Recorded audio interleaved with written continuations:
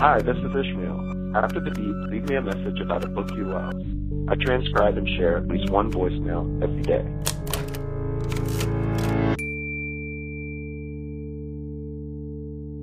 Hi, I'd like to talk to you today about Ishmael by Daniel Quinn.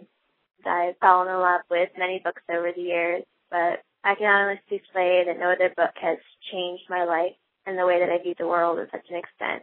Ishmael's not truly a novel. It's more of like a philosophical discussion about man's relationship with the world and nature. And describing it doesn't really do it justice. This message really reached me on a personal level. I spent a lot of time thinking about the problems of the world, probably more so than the average person.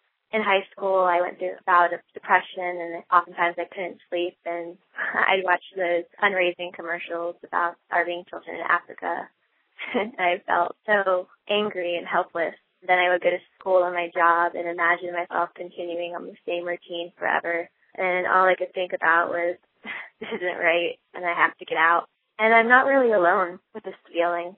Ishmael is a book for those who have everything they need to be happy, but who are still somehow discontent with their lives and the very process of life and the never ending work to make ends meet, like corruption and pollution and destruction and how we treat each other.